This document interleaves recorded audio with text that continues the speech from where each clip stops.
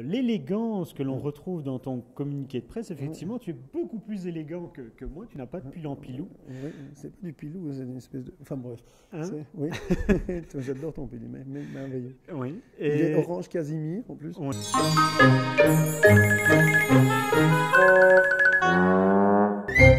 Walter, il paraît que tu es belge et méchant. Il paraît, il paraît. Alors, est-ce que tu peux prouver que tu es belge?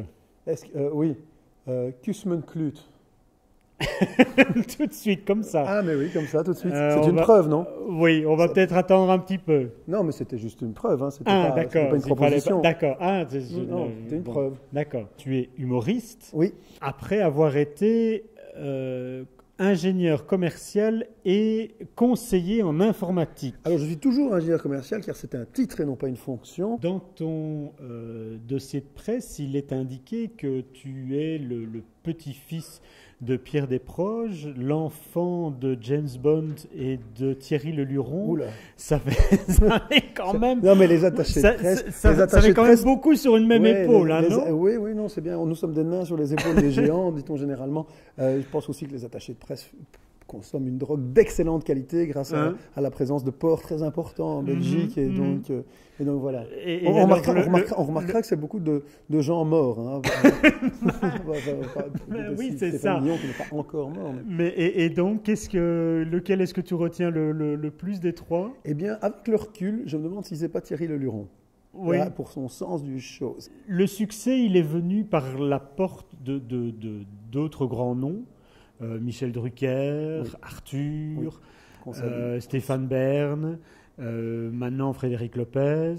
qui, ont tous, qui ont tous en commun de ne pas être hollandais. Tu le remarqueras. Donc Dave, non.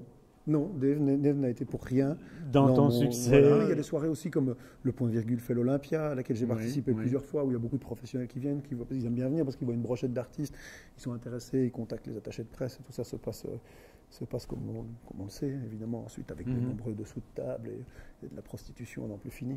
Ma première, ma première ligne de coke a été faite euh, sur les fesses a été prise sur les fesses d'un producteur et que je n'ai pas à m'en plaindre. Oui. Je pas Ça, elle était. Ça- fait- ben oui, ça fait passer ce qui, est, ce qui a suivi. Quoi. Oui.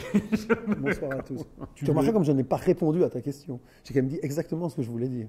Oui, bah écoute, euh, moi je laisse dire. hein. Bon, évidemment. Que, est-ce que nous avons fait le tour de, de- de la question? Nous n'avons pas fait le tour de la question, mais nous ne pouvons pas sur le net. C'est la parole à l'instantané. Venez découvrir par vous-même le spectacle. Mais c'est plutôt à toi de le dire, ça. Ah, euh, venez euh, par vous-même découvrir le spectacle de Walter. C'était bien? Mais je pense que ça disait ce que ça voulait dire.